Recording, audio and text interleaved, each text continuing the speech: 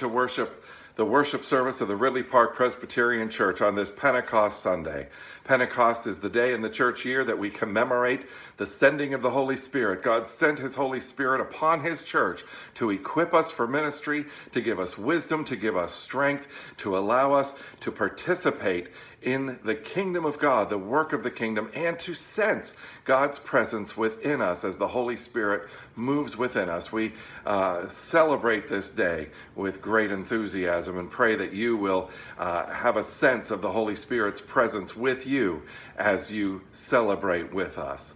I have a couple of announcements as we begin. Of course, I direct you uh, every week to the church's website where you can find links to our Facebook uh, presence, YouTube, podcasts, Right Now Media, a way to contact us, uh, a way to give to the life and ministry of the church. All these things are available right there at rppcusa.org. I want to let you know that there is a new Right Now Media uh, Bible study forming. If you are interested in learning more about that, um, there will be an email sent out, or you will have received an email about that, and uh, you can contact me or Betty Campbell or Karen Knox if you uh, have any questions about that. Also, remember uh, last week, if you were with us, we had something new in our service, and that is a time for you to for you to greet others. Uh, it's two minutes that we set aside during uh, the watch party, where you can interact with others in the watch party. If you're watching this at another time, you can. Um, invite a friend to join. You can uh, let others know about uh, what we're doing at Ridley Park Presbyterian Church and send them uh, information about how they can uh, participate in this worship service. We pray that that time be a blessing to you and uh, pray that this service will guide you into a deeper sense of God's presence. Uh, to that end, let us pray together. Dear Lord God, we thank you for your Holy Spirit and pray that your Spirit would move within us to strengthen us, to help us to know your goodness and your grace at work within us.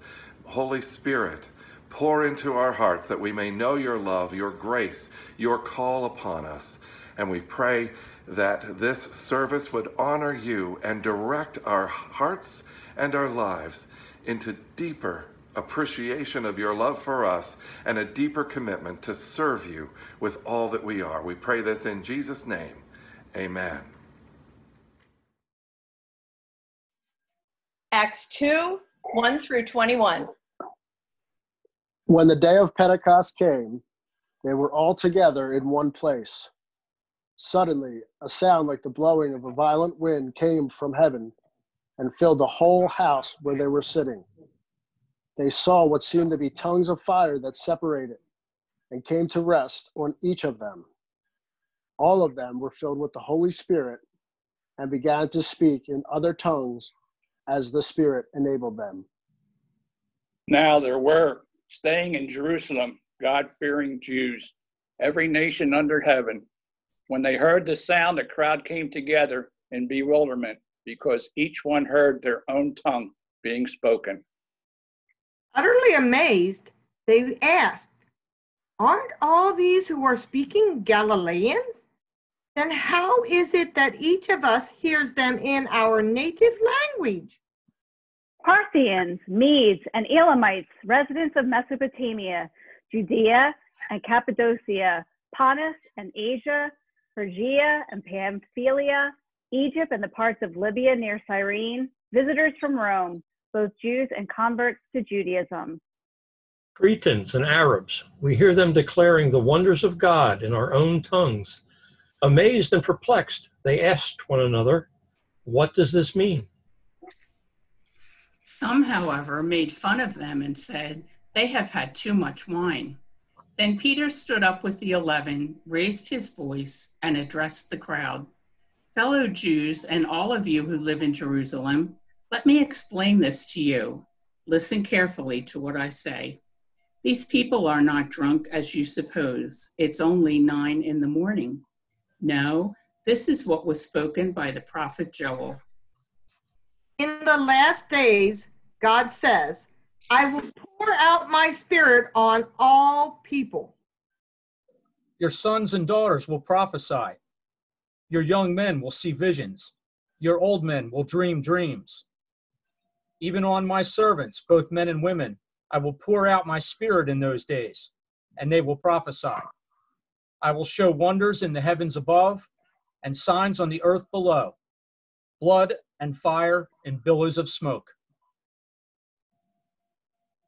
The sun will be turned to darkness and the moon to blood before the coming of the great and glorious day of the Lord, and everyone who calls on the name of the Lord will be saved.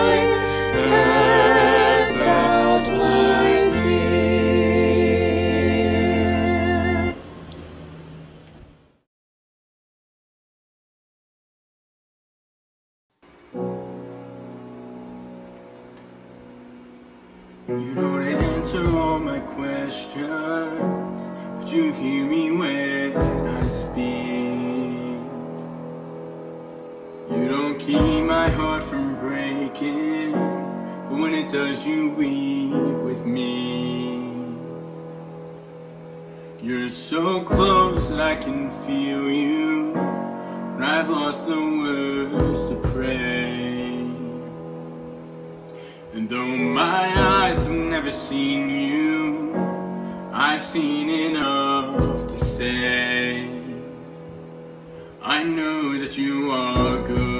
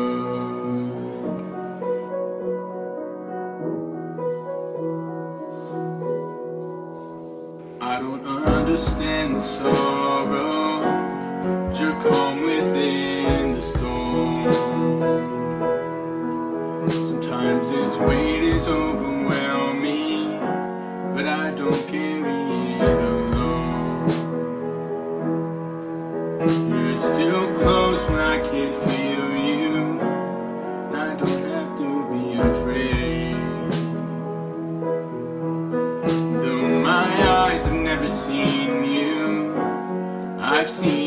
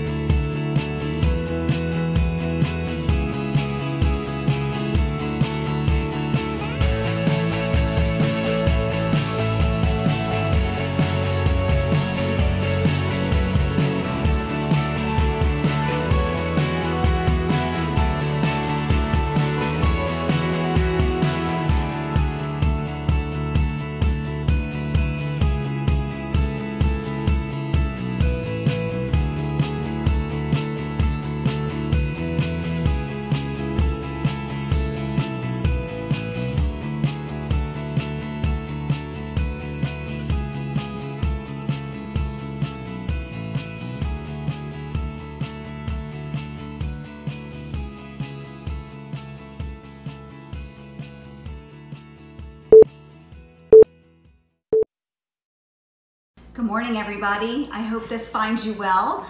I am sure that during this time of staying home and staying safe, that you have tried new things.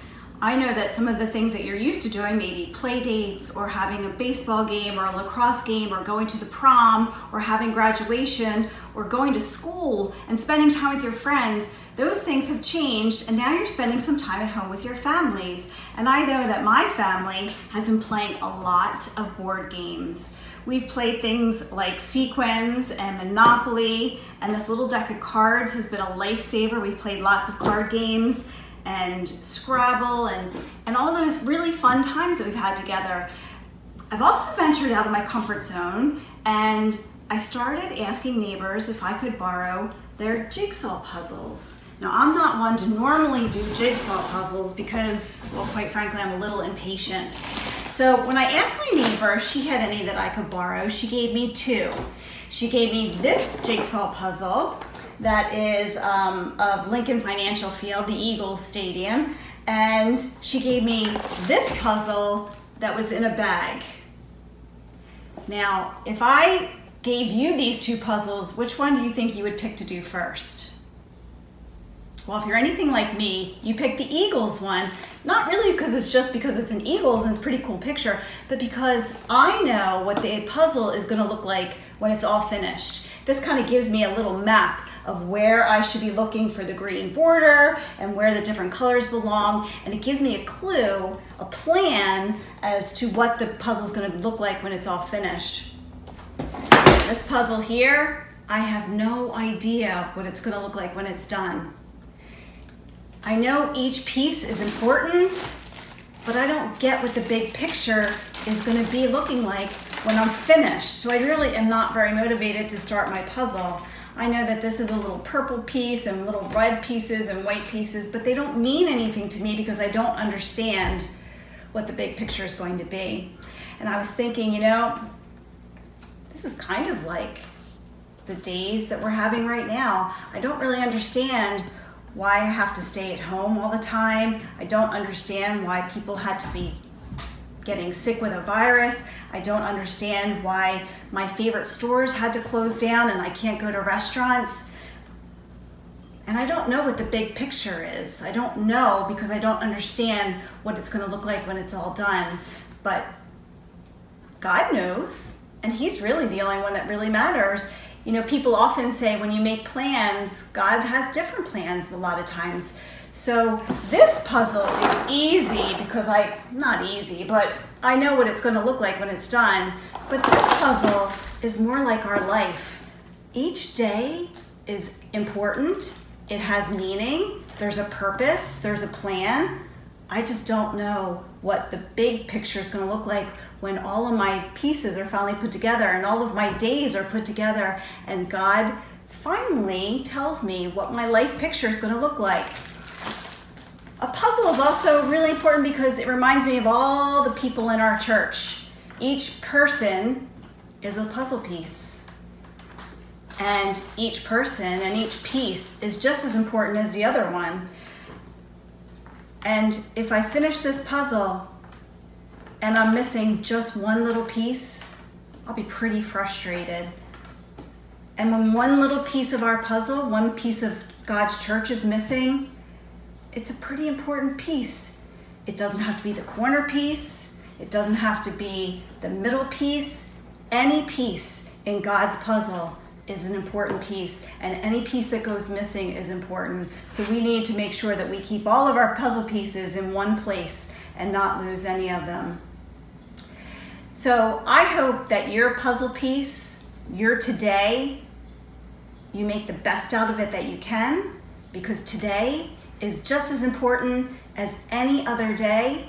Make the best of what you do every day and know that God has you by the hand because He's got a bigger plan and He knows what your puzzle life picture is going to be, even if we don't. So stay well, my friends, and we will see each other soon. Bye.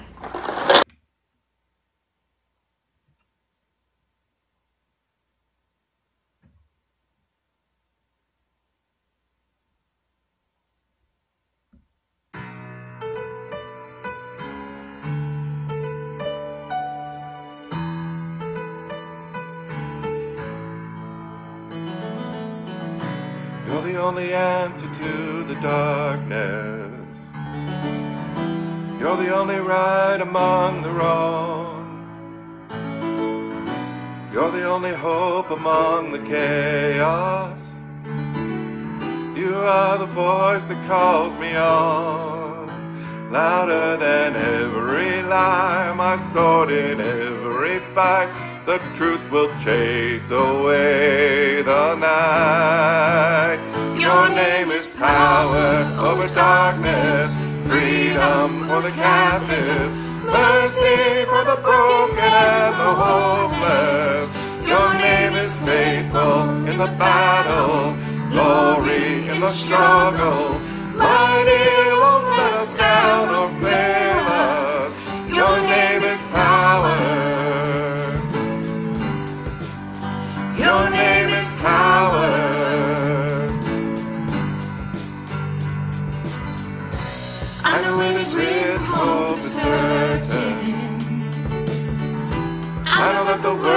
never fail. I know that in every situation, you speak the powers to prevail. Louder than every lie, my sword in every fight. The truth will chase away the night. Your name is power over darkness, freedom for the captives, mercy for the broken and the hopeless. Your name is faithful in the battle, glory in the struggle. Mighty won't let us down or fail us. Your name is power. Your name is power. When you speak, you scatter darkness, light arrives and heaven opens. Holy Spirit, let us hear it. When you speak, the church awakens. We believe the change is coming. Holy Spirit, let us see it. When you speak, you scatter darkness. Eyes in heaven opens. Holy Spirit, let us hear it. When you speak, the church awakens. We believe the change is coming. Holy Spirit, let us hear it. Your name is power over darkness, freedom for the captives, mercy for the broken and the hopeless. Your name is faithful in the battle, glory in the struggle. Mighty will us down or fail us. Your name is power over darkness. Your name is power in the chaos. Your name is power.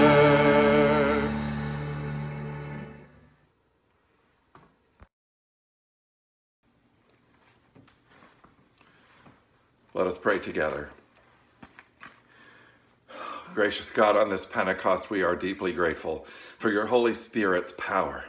Your Holy Spirit who inspired the writers of Scripture, your Holy Spirit who gave them the words and the thoughts to convey to us, and your Holy Spirit who works within us that we might have our minds and hearts open to what you have to say through these words. So we pray that your Holy Spirit would be at work within us, that we might receive the word you have for us this day, and that your word would accomplish the purposes for which you have given it to us, and strengthen us to be the people that you call us to be. We pray in Jesus' name. Amen. Our scripture passage today is 1 Peter chapter 3 verses 13 through 22. Who is going to harm you if you are eager to do good? But even if you should suffer for what is right, you are blessed. Do not fear their threats. Do not be frightened. But in your hearts revere Christ as Lord.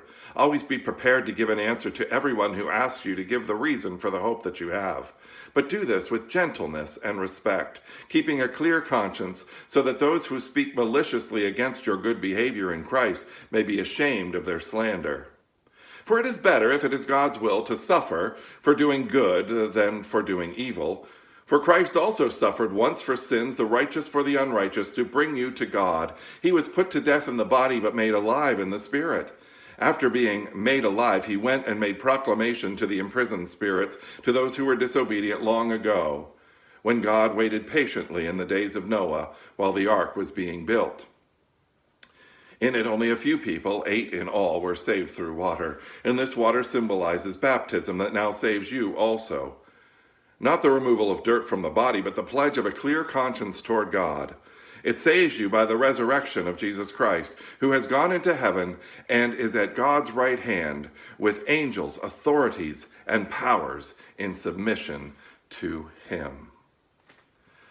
We've been looking through this uh, series on First Peter at uh, the the fact that we are given a new identity in Jesus Christ. And I want to look uh, through this passage uh, at what who Jesus Christ is and what it means that we have a new identity in Jesus Christ. Remember, on this Pentecost Sunday, we, rem- we are reminded of the, the Holy Spirit being poured out on God's people and strengthening them to be the church.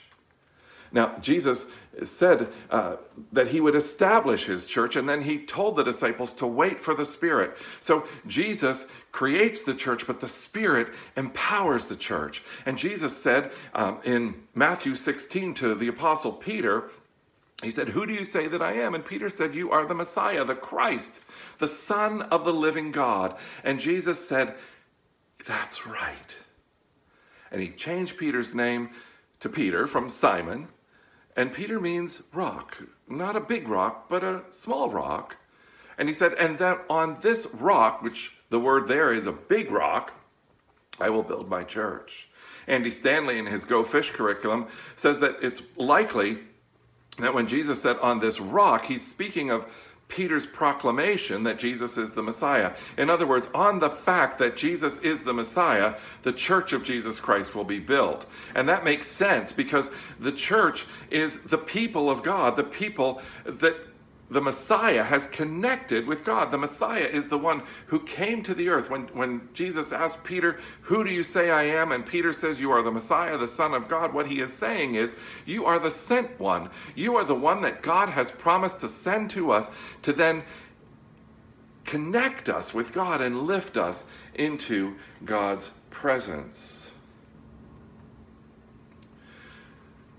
So, Jesus Christ, as the Messiah, is the one who, as we see uh, in our passage here um, in verse 18, suffered once for sins, the righteous for the unrighteous, to bring you to God. And after being made alive, he went. And I will have to address where he went. Uh, that you probably, as I read this passage, were confused, as I was, when it says he went to those who were disobedient long ago. And you may say, well, Jim, Pastor Jim, what does that mean? Where did he go? And my answer is a, a very solid and sure I don't know. And any commentator who writes about this says, we can speculate, we can wonder, but we don't really know. But I think the point of it is, and it's the same point that we find in verse 22, he has gone to heaven and is at God's right hand with angels, authorities, and powers in submission to him. Jesus went wherever he went and spoke to whomever he spoke to as one with authority, as one with eternal authority, as one with authority over all beings and made proclamation. And then he is at God's right hand with all powers, all authorities, even the angels in submission to him. As Messiah, he is in charge. As Messiah, he is Lord over all things. Now, some people as Christians say, well, I'm connected to the Lord of all things, so people should treat me as if I'm a sublord of all my things. And that is, of course, not a good way to proclaim the gospel. And in this passage, we have a, um, a declaration, a, a, a call to proclaim the gospel. In verse 15, uh, Peter says, Always be prepared to give an answer to everyone who asks you to give the reason for the hope that you have but do this with gentleness and respect. Unfortunately, uh, the the way we've witnessed, or maybe just what people assume about us without really knowing what Christianity is, uh, has caused some people to fall away from the faith. A lot of people reject uh, a caricature of the gospel rather than the actual gospel. So it is important when we proclaim the gospel that we proclaim it well and accurately uh, some ways that um, people misunderstand the gospel is even going to church. You can go to church for your whole life and not really have this relation, this life-changing relationship with, with Jesus Christ. Uh, the evangelists, I think, ever since the automobile was invented, have said being in church doesn't make you a Christian any more than being in a garage makes you a car. So we, we have to make sure that we understand what being a Christian truly is. A, a lot of people think that becoming a Christian means that you will be fixed. You will be made into the person that you've always wished you could be. And I, I, have to admit that that's part of what I believed throughout my early years as a Christian. And it has taken a long time of not being as fixed as I want to be, as not being uh, the person, not becoming the person I thought I would be. I remember a group of friends in seminary, we'd say, well, in two years, we're going to have this conquered. Or in two years, we're going to have a certain size church or whatever it might be. And we, we thought that being a Christian meant that God would make us into the people we thought we should be. There are some people who spend their entire Christian lives struggling with one thing or another.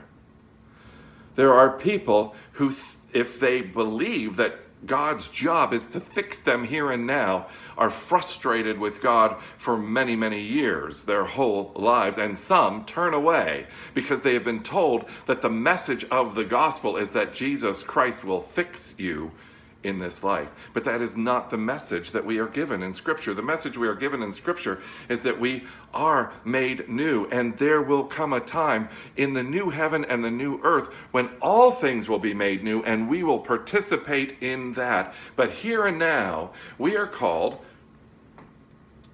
to struggle. We are called to suffer. And that's one of the themes of First Peter that the church is struggling, the church is suffering, and that should not surprise us. If we think that God's job is to make everything good for us now, then it will surprise us and discourage us when trouble and hardship come. But the message of the gospel is that you have a relationship with God. You have a relationship, as this passage says, with Jesus Christ, who suffered as well because this world is not what it should be, and it will not be made into what it should be until Christ returns. And in the meantime, we will have struggles, as Jesus said. But he said, Take heart, I have overcome the world. Ultimately, those struggles will be set aside.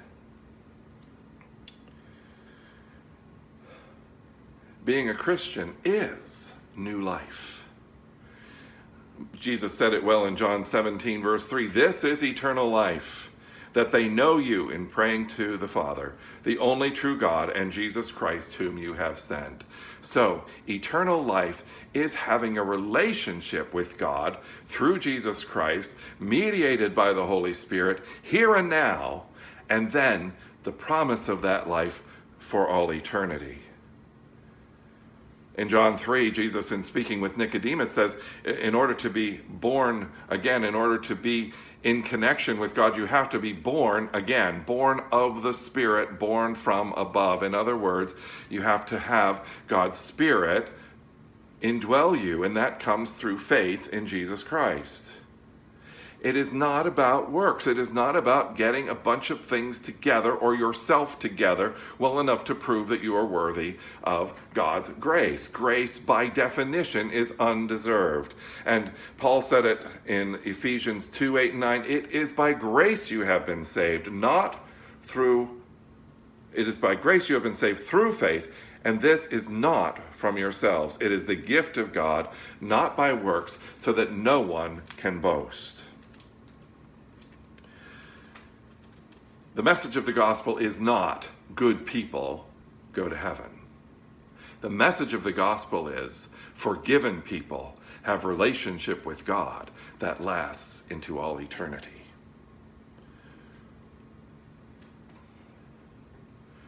So, what is our message then? What is this answer that we have for the hope that is within us, as Peter expresses it in verse 15?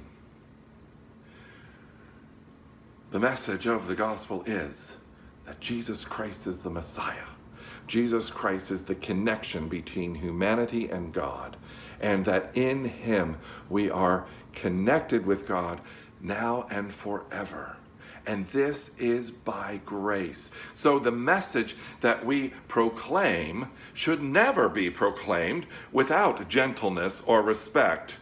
Peter says, give the answer, but always with gentleness and respect. And when Christians are seen as power hungry as Christians are when Christians are seen as looking out for their rights and making sure they get what they think they deserve, they are not living out the, the call that Peter gives us here and the call that Jesus gives us as we are to go into the world to make disciples because what we are presenting in that is that Christianity is a movement that deserves its place in society. But Christianity is the is the people of God.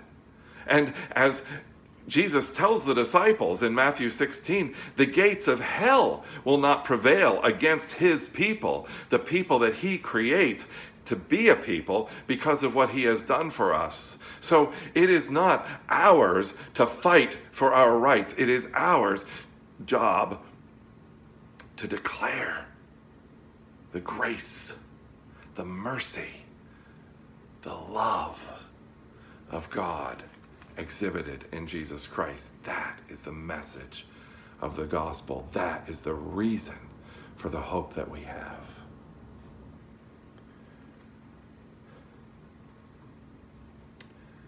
And it's not super complicated. A lot of times I think we're afraid to share the reason for the hope that is within us because we're afraid of people's judgment or how they'll receive it. Or maybe we don't think we know enough.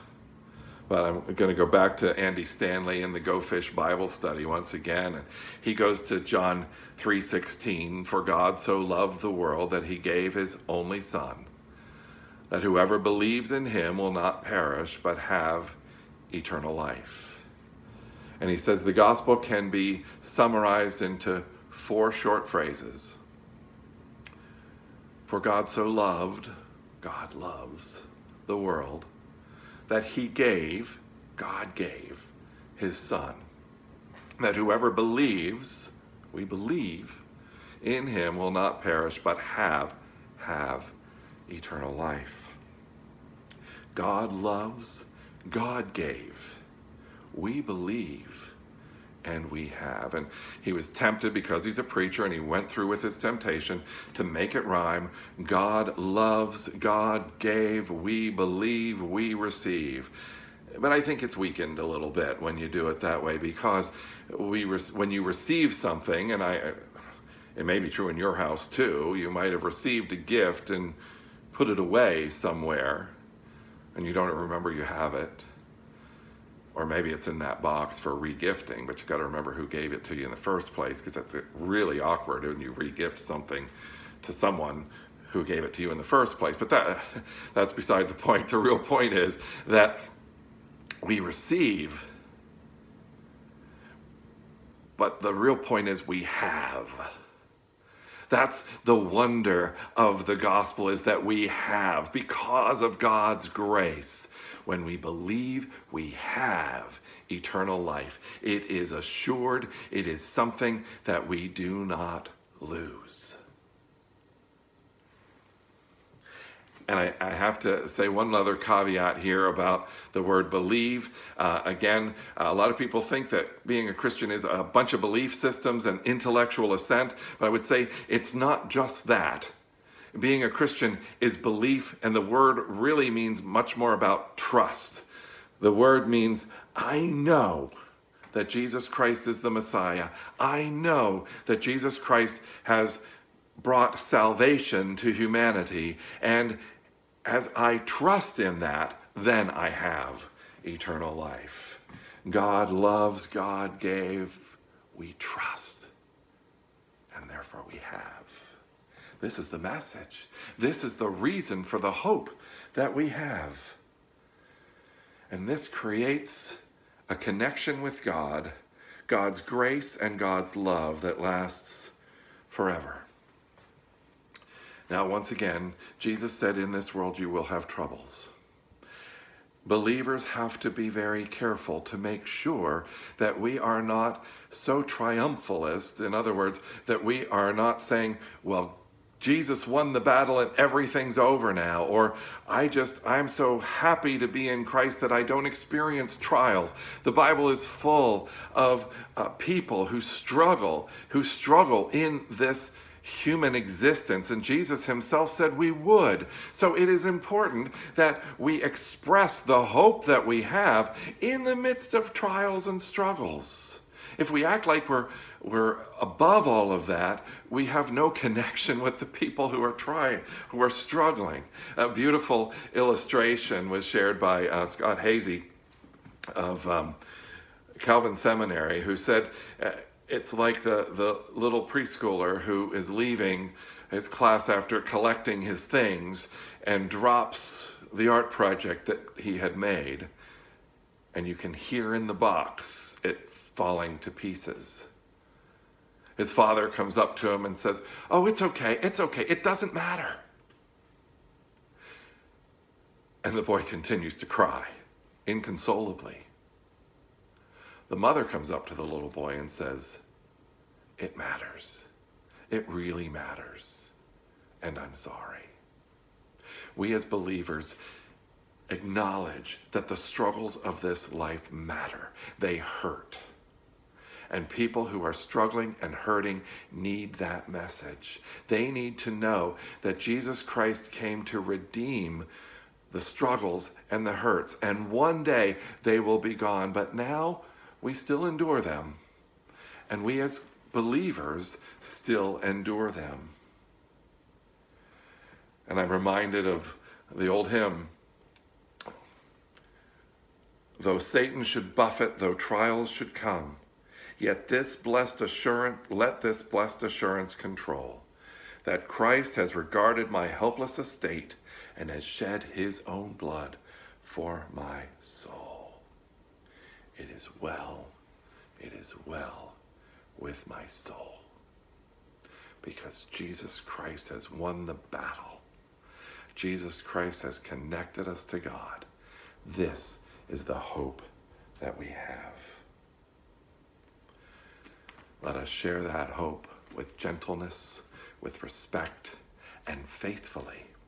It's interesting that Jesus began his ministry by calling the disciples to be fishers of men. In other words, he established his ministry with his disciples as one in which they would share the message of the gospel. And Jesus ends his earthly ministry before the ascension by giving the Great Commission As you go, make disciples of all nations. This is the calling of the church. We are called to give an answer for the hope that we have. We are called to faithfully declare the mercy and grace of God, the lordship of Jesus Christ, and the wonder of God's grace. Let us be faithful to do it. Amen. Now let us pray together. Holy God, on this Pentecost Sunday, we pray that you would renew your church. Give us new passion for your kingdom, kingdom promises and new energy and commitment to share your kingdom with others. We find ourselves in a society deeply divided by perspectives on politics, science, and truth. We see those divisions even in your church and grieve that some choose to be rude, hateful, and cruel as they express their perspectives, even those within your church. The anxieties and rhetoric of our culture have invaded your church and now mar our witness to your grace and truth. We grieve the racial division in our nation. We acknowledge that some of us have the privilege of greater safety and security than others, and we pray for healing, understanding, and equality. We pray that your church would know who we are by who we are in Jesus Christ, that we would follow him effectively. And we know that this is only possible by the power and presence of your Holy Spirit at work within us. So work within us, Holy Spirit. We invite you. We also pray, Holy Spirit, that you would give wisdom to our session as we meet tomorrow, that we might carefully discern how and when it is wise to move back into the building and to what degree we can do so. But even more important than that, Lord, we pray that you would help us discern how to be the church now in this season of exile, in this season of so much that we have trusted being taken away, a season of opportunity to relearn what it means to be your church and what it means to share the hope that is within us. We pray all of this in the name of Jesus Christ and by the power of your Holy Spirit dwelling in us. Amen.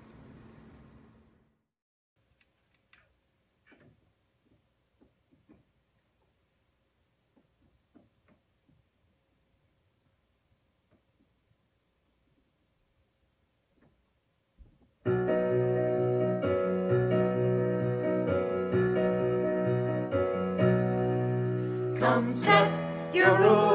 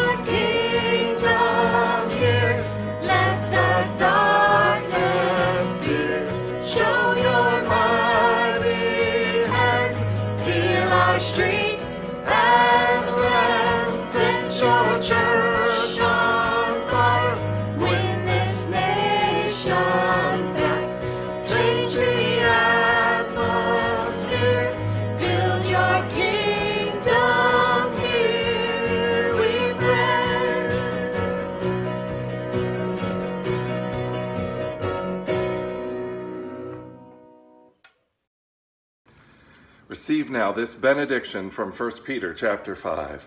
And the God of all grace, who called you to his eternal glory in Christ, after you have suffered a little while, will himself restore you and make you strong, firm, and steadfast. To him be the power forever and ever. And all the people said, Amen.